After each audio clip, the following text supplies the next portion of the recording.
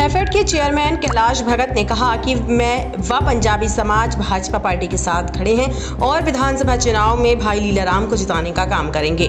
लीलाराम को एक बार फिर विधानसभा में भेजने का काम करेंगे। कैलाश भगत ने कहा कि हर पार्टी में उम्मीदवार कई होते हैं, लेकिन टिकट एक ही को मिलती है, लेकिन सभी का धर्म बनता है कि जिसको टिकट मिली है उसका साथ दें। कैलाश भगत ने कहा कि भाजपा सरकार में हमने हर आड़ती व व्यापारी की समस्या का हल करने का काम किया है। हमने तो पिछली बार भी लीलाराम को टिकट मिली थी और उसको जिताने के लिए पूरा काम किया। अब भी पार्टी ने जिसको फैसला करके भेजा है, उसके साथ तुरंत साथ देंगे और तुरंत जिताने का काम करेंगे।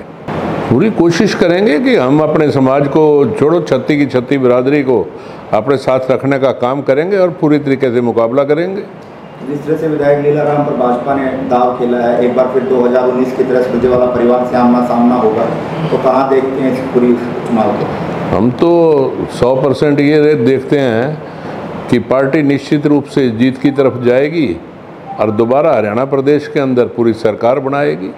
तो मतलब किस तरह से रणनीति आप लोगों ने बनाई है? जैसे विधायक से मिले भी होंगे टिकट मिलने के बाद। उसके बाद जीत को लेकर क्या कुछ रणनीति आपने बनाई है? किस तरह से आपका मतलब प्रचार वो चलेगा विधायक जी के साथ? हमारा प्रचार क्या? हमने तो कल भी पूरा दिन शहर के अंदर लगाया है और हम पूर्णतः रूप से विधायक के साथ पूरी अच्छे तरीके से लग के उसको जिताने का काम करेंगे? क्योंकि बाज़ार में चर्चा थी कि कैलाश भगत कहीं ना कहीं नाराज़ हैं अभी लीलाराम को टिकट मिलने से कैलाश भगत खुद दौड़ में थे और टिकट ना मिलने को लेकर कहीं ना कहीं। नहीं मैं किसी दौ में तो टिकट के हक में भी नहीं था। इस बार मैंने शुरू से ही एक बात कह रखी थी कि जिसको भी पार्टी टिकट दे के भेजेगी उसको जिताने का सिर्फ़ काम करूँगा। तो अब लगातार मंडी भी आपके साथ रहती है और मंडी फैसला करती है कि कौन जो है वो जीत की ओर जाएगा। तो अब की बार मंडी का रुख क्या लगता है आपको? क्योंकि आप लगातार अभी शुरुआत हुई है। अब टोटल सब टिकटें जो कांग्रेस की भी आ लेंगी सब चीज़ होगी, उसके ऊपर मंडी भी दारमदार उस पर होती है, उस पर फैसला किया करती है। पब्लिक जो है, फैसला जो है, पब्लिक ने लेना होता है, पर हमारी कोशिश पूरी ये रहेगी कि विधायक जो है, हमारा निश्चित रूप से जीत के यहाँ से जाए। जी तो सुरजेवाड़ा की अगर बात करें तो दिन प्रतिदिन जो ज्वाइनिंग है, वो काफ़ी सुरजेवाड़ा करवा चुके हैं, लेकिन भाजपा की तरफ़ से कोई बड़ी ज्वाइनिंग देखने को नहीं मिली अभी तक। देखो, भाजपा की तरफ़ से ज्वाइनिंग भाजपा की तरफ़ से भी अच्छी आएँगी।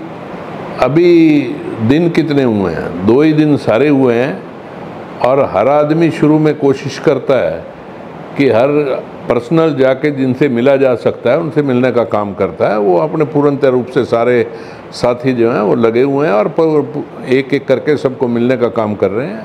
रणदीप सिंह सुरजेवाला लगातार जो है भाजपा पर हमला बोल रहे हैं लगातार 10 साल का जो कार्यकाल भाजपा का रहा है उस पर कटाक्ष करते हुए नज़र है कि कैथल को बहुत पीछे जो है वो छोड़ दिया है विकास के मामले में। देखो जहाँ तक हरियाणा प्रदेश के विकास की बात है मेरे ख्याल में जितना अच्छा विकास और जितनी हाईवेज की सड़कें बीजेपी के राज के अंदर बनी हैं, उससे पहले कुछ भी नहीं थी। जहाँ तक मेरे को माननीय मुख्यमंत्री श्री मनोहर लाल जी ने हैफर्ड का एक डिपार्टमेंट दिया था और हमने जिम्मेदार के लिए, अपने व्यापारी के लिए उसके अंदर काम करने की कोई कसर नहीं छोड़ी। जिम्मेदार को पूरा रेट देने का काम किया, जिसमें हरियाणा प्रदेश के टोटल पूरे किसानों को बीस बीस हज़ार रुपये का ठेका बढ़ा और जिसमें पूरा किसान जो है वो खुश रहा। इससे ज़्यादा सरकार जो है क्या दे सकती है? पूरे हिंदुस्तान के अंदर एक भारतीय जनता पार्टी ऐसी है, हरियाणा प्रदेश ऐसा है कि हर फ़सल के ऊपर एमएसपी पे माल परचेज किया जा रहा है, जबकि बाकी प्रदेशों में सिर्फ़ दो दो फ़सलों पे एमएसपी है और किसी फ़सल पे एमएसपी नहीं है। यहाँ जिम्मेदार को पूर्णतः रूप से सब सहूलियत दी जा रही है।